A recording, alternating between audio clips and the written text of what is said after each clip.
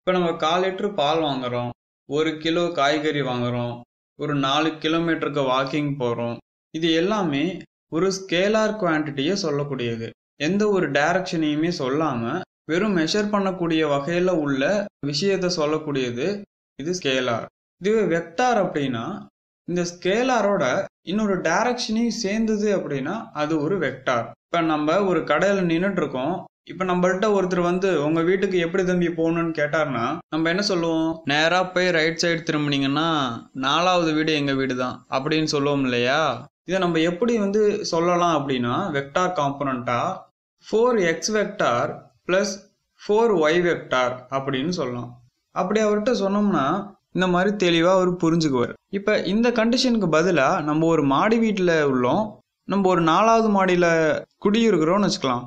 அப்படின்னு என்ன சொல்லுவோம்? Four X vector plus four Y vector plus four Z vector அப்படின்னு சொல்லும் போது அவங்களுக்கு நம்ம எந்த மாடியில் இருக்கோங்கிறதையும் நம்ம சொல்கிறோம் அப்படின்னா வெக்டாரை நம்மளால டூ டிலையும் சொல்ல முடியும். இதே சமயம் நம்ம த்ரீ டிலையும் சொல்ல முடியும். ஏன்? சிங்கிள் டைமென்ஷனில் கூட நம்மளால சொல்ல முடியும். ஃபைவ் எக்ஸ் வெக்டார் அப்படின்னா ஒரு டைமென்ஷனில் நம்ம சொல்கிறோம் இப்போ ஸ்கேலாருக்கு டைரக்ஷன் கிடையாது. வெக்டருக்கு டைரக்ஷன் உண்டு. இப்போ இந்த ஸ்கேலார் வெக்டார் ரெண்டுமே ஒரு டென்சார் குவான்டிட்டி அதாவது நம்ம கிளாஸில் ஒரு பத்து பேர் இருக்கோம்னா ஃபர்ஸ்ட் ரேங்க் செகண்ட் ரேங்க்னு சொல்கிறோம் இல்லையா? அந்த மாதிரி இந்த கிளாஸை நம்ம டென்சார்னு வச்சுக்கலாம். இந்த டென்சாரில் ஜீரோ தடராக உள்ளது ஸ்கேலார் எந்த ஒரு டைரக்ஷனும் கிடையாது.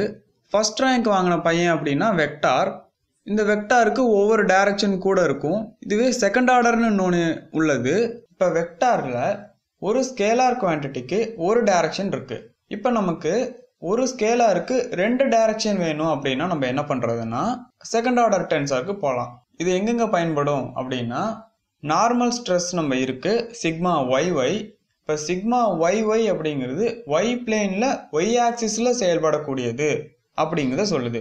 இதே டவ் எக்ஸ் ஒய் அப்படின்னா ஷியர் ஸ்ட்ரெஸ் ஆனது எக்ஸ் பிளேனில் ஒய் டைரக்ஷனில் ஆக்ட் ஆகுது. இப்போ நமக்கு ரெண்டு டைரக்ஷனை ஒரு ஸ்கேலார் குவான்டிட்டியோட சொல்ல தேவைப்படுறது தான் இந்த செகண்ட் ஆர்டர் ஆஃப் டென்சார் அப்படிங்கும்போது ஒரு த்ரீ டைமென்ஷனல் ஆப்ஜெக்டில் ஸ்ட்ரெஸ் அப்படிங்கிறது ஆக்ட் ஆகும்போது நம்ம ஒன்பது காம்பனண்ட்டை வச்சு சொல்ல முடியும். இந்த ஒன்பது காம்பனண்ட்டை ஒரு மேட்ரிக்ஸ் ஃபார்மில் சொல்ல முடியும். இதுதான் இந்த செகண்ட் ஆர்டர் ஆஃப் டென்சார் இப்போ இந்த ஆப்ஜெக்டை பாருங்கள் இந்த க்யூப்பில் எல்லா வகையான ஸ்ட்ரெஸ்ஸும் நம்ம வந்து சொல்லியிருக்கோம். அதாவது மூணு பிளேனில் ஆக்ட் ஆகிற ஸ்ட்ரெஸ்ஸஸை நம்ம சொல்லியிருக்கோம். அப்படின்னா இப்போ நமக்கு தெரிஞ்சு போச்சு எந்த ஒரு த்ரீ டைமென்ஷனல் ஆப்ஜெக்ட்லேயும் ஒன்பது வகையான ஸ்ட்ரெஸ்ஸஸ் ஆக்ட் ஆகிறத நம்மளால் பார்க்க முடியுது.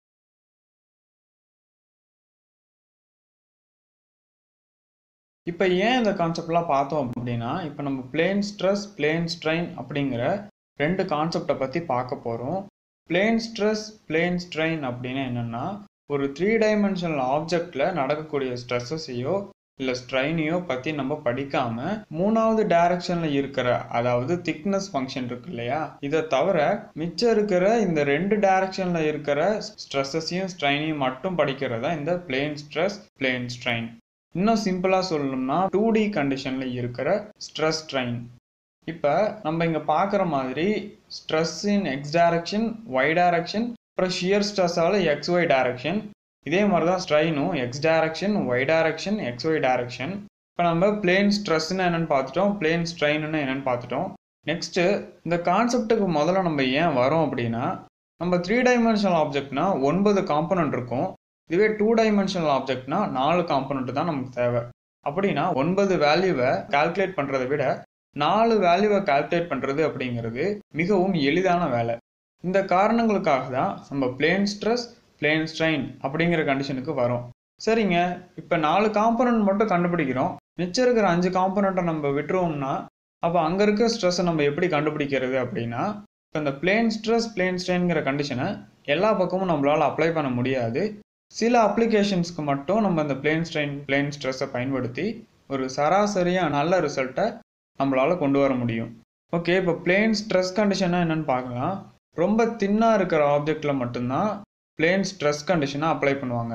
அதாவது சின்ன பிளேட்டு அப்புறம் சிலிண்டர் வால் இந்த மாதிரியான ஆப்ஜெக்டில் மட்டும்தான் நம்மளால் பிளேன் ஸ்ட்ரெஸ் கண்டிஷனை அப்ளை பண்ண முடியும். பிளேன் ஸ்ட்ரெஸ் கண்டிஷன் அப்படின்னா என்னென்னா சில கண்டிஷன்ஸை நம்மளால் அசியூம் பண்ணிக்க வேண்டிய சூழ்நிலை வரும்.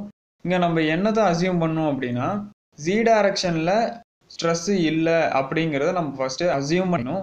ஏன்னா பிளேன் ஸ்ட்ரெஸ்ஸுன்னு பேர் வச்சதுக்கு காரணமே ஜி டைரக்ஷனில் எந்த ஸ்ட்ரெஸ்ஸும் இல்லை அப்படிங்கிறதுக்காக தான்.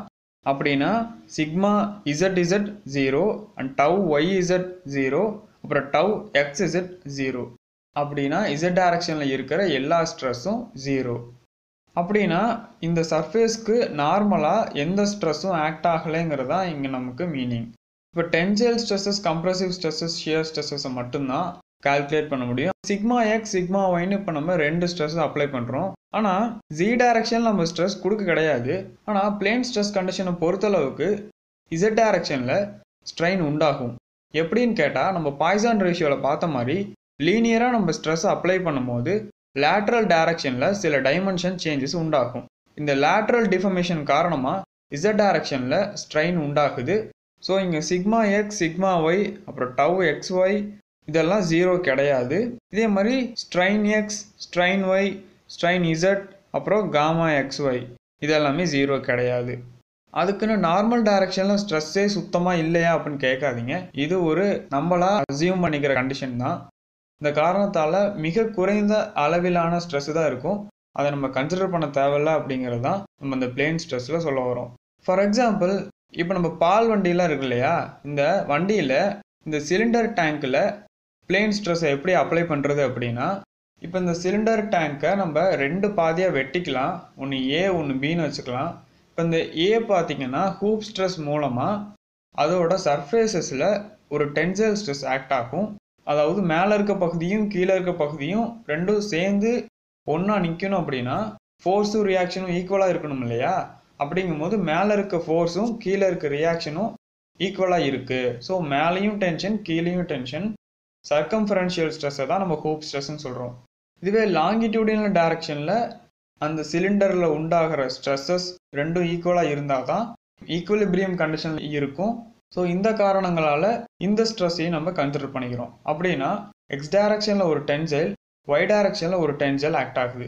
அப்படிங்கும்போது ஒரு சிலிண்டர் வால் சர்ஃபேஸாக நம்ம அதை கன்சிடர் பண்ணும்போது இதுக்கு எந்த நார்மல் ஸ்ட்ரெஸ்ஸும் ஆக்ட் ஆகலை. ஒன்லி டென்சைல் ஃபோர்ஸஸ் மட்டும்தான் இங்கே ஆக்ட் ஆகுது. மேபி ஷியர் ஸ்ட்ரெஸ் உண்டாகலாம். இந்த டென்சைல் ஸ்ட்ரெஸ்ஸஸ் இருக்கு இல்லையா? Sigma X and sigma Y இந்த ரெண்டும் ஈக்குவலாக இருந்தது அப்படின்னா லேட்ரலாக ஸ்ட்ரெயின் உண்டாகாது. சப்போஸ் ரெண்டுமே வேரி ஆகுது அப்படின்னா ஸ்ட்ரெயின் உண்டாகும். அதாவது நார்மல் டைரக்ஷனில் இல்லை அப்படின்னா இன்னொரு கண்டிஷன் படி பார்த்தோம்னா பாய்சான் எஃபெக்ட் மூலமாக லீனியராக அப்ளை பண்ணும்போது லேட்ரலாக ஸ்ட்ரெயின் உண்டாகும். இந்த காரணங்களால் இசட் டைரக்ஷனில் நமக்கு ஸ்ட்ரெயின் உண்டாகுது. ஓகே பிளேன் ஸ்ட்ரெஸ்ஸுனா பிளேனுக்கு நார்மலாக எந்த ஸ்ட்ரெஸ்ஸும் இருக்காது. அப்படிங்கிறதுனால அது பிளேன் ஸ்ட்ரெஸ் பிளேன் ஸ்ட்ரெயின் அப்படின்னா இசட் டைரக்ஷனில் எந்த ஸ்ட்ரெயினும் இருக்கக்கூடாதுன்னு நம்ம அசியூம் பண்ணிக்கிறோம். இந்த கண்டிஷன் பேர் தான் பிளேன் ஸ்ட்ரெயின் அதாவது இந்த பிளேன் ஸ்ட்ரெயினுக்கு பொதுவாக எல்லாருமே சொல்லக்கூடிய எக்ஸாம்பிள் டேம் தான். டேமில் நம்ம ஈஸியாக புரிஞ்சுக்க வர வகையில் அதோட ஸ்ட்ரக்சர் இருக்குது இப்போ நமக்கு ஸ்ட்ரெயின் ஜீரோன்னு சொல்லிட்டோம். அதாவது ஸ்ட்ரெயின் ஜீரோவாக தான் இருக்கணும் அப்படின்னு நம்ம அசியூம் பண்ணிட்டோம். நம்ம இந்த டேமில் இந்த பிளேனை கன்சிடர் பண்ணியிருக்கோம். இந்த டேம் மேலே போய் இந்த தண்ணி மோதும் போது என்ன ஆகும்னா பிளேனோட அதாவது எந்த பக்கம் போய் தண்ணி மோதுதோ அந்த பக்கம் தான் ஸ்ட்ரெஸ்ஸஸ் உண்டாகும். மற்றபடி டேமோட லென்த் வைஸ் ஏதாவது ஸ்ட்ரெயின் உண்டாக போகுதா? கிடையாது. ஏன்னா ஸ்ட்ரெஸ்ஸஸ் ஆக்ட் ஆகிறது டேமோட நீர் மோதும் பகுதியில் தான். இந்த காரணங்களால் நம்ம இதை பிளேன் ஸ்ட்ரெயின் கண்டிஷன் சொல்கிறோம் ஸ்ட்ரெயினே உண்டாகாதுன்னு கிடையாது. ஆக்சுவலாக மிக குறைந்த அளவிலான ஸ்ட்ரெயின் உண்டாகும். இந்த ஸ்ட்ரெயினை நம்ம ஜீரோவாக கன்சிடர் பண்ணிக்கிறோம். ஓகே பிளேன் ஸ்ட்ரெஸ்ஸில் இசட் டைரக்ஷனில் ஸ்ட்ரெஸ்ஸே அப்ளை பண்ணல ஆனால் ஸ்ட்ரெயின் உண்டாச்சு. இங்கே ஸ்ட்ரெயினே உண்டாகலை ஆனால் ஸ்ட்ரெஸ் இருக்கும். எப்படின்னு கேட்டிங்கன்னா இசட் டைரக்ஷனில் சில ஸ்ட்ரெயின் உண்டாகும். அது மிக குறைந்த அளவிலான ஸ்ட்ரெயின் நமக்கு ஜீரோன்னு கன்சிடர் பண்ணுறதுனால அந்த ஸ்ட்ரெயினை உண்டாகக்கூடாதுங்கிற காரணத்தினால அந்த ஸ்ட்ரெயினை ரெசிஸ்ட் பண்ணுறதுக்கு ஒரு ஸ்ட்ரெஸ்ஸை கொடுக்க வேண்டியது இருக்கும். இந்த காரணத்தினால தான் பிளேன் ஸ்ட்ரெயின் கண்டிஷனில் ஸ்ட்ரெஸ் இருக்கிறதா கன்சிடர் பண்ணுறோம் ஸோ இப்போ பிளேன் ஸ்ட்ரெஸ் பிளேன் ஸ்ட்ரெயின் ரெண்டுமே வேற வேற ரெண்டும் ஒரே இடத்துல நடக்காது. ரெண்டும் ஒரே இடத்துல நடக்கணும் அப்படின்னா பாய்சான் ரேஷியோ ஜீரோவாக இருக்கணும். ஏன்னா அப்போ தான் லேட்ரல் டிஃபர்மேஷன்ஸ் மூலமாக இருக்கிற ஸ்ட்ரெயினை கண்ட்ரோல் பண்ண முடியும். ஸோ பிளேன் ஸ்ட்ரெஸ்ஸை சில அப்ளிகேஷன்லேயும் பிளேன் ஸ்ட்ரெயினை சில அப்ளிகேஷன்லேயும் நம்ம பயன்படுத்த முடியும். ஸோ நம்ம ஒரு ஆப்ஜெக்டை பார்த்தோன்னே அங்கே பிளேன் ஸ்ட்ரெஸ் அப்ளை பண்ணுறதா பிளேன் ஸ்ட்ரெயின் அப்ளை பண்ணுறதா அப்படின்னு நம்ம எப்படி கண்டுபிடிக்கணும் அப்படின்னா அந்த பொருளில் ஏற்படுற டிஃபர்மேஷன்ஸை வச்சு தான் நம்ம அதை சொல்ல முடியும். இசட் டைரக்ஷனில் எந்த ஸ்ட்ரெயினுமே உண்டாகலை அப்படிங்கிற மாதிரியான லோடிங் கண்டிஷனாக இருந்தால் அவங்க பிளேன் ஸ்ட்ரெயின் அப்ளை பண்ணலாம். கொஞ்சம் குழப்பற மாதிரி இருந்தால் நீங்கள் இந்த வீடியோவை திரும்ப பாருங்கள் இந்த வீடியோ யாருக்கு தேவைப்படும்னு நினைக்கிறீங்களோ உங்கள் ஃப்ரெண்ட்ஸோட ஷேர் பண்ணுங்கள் மிக்க நன்றி.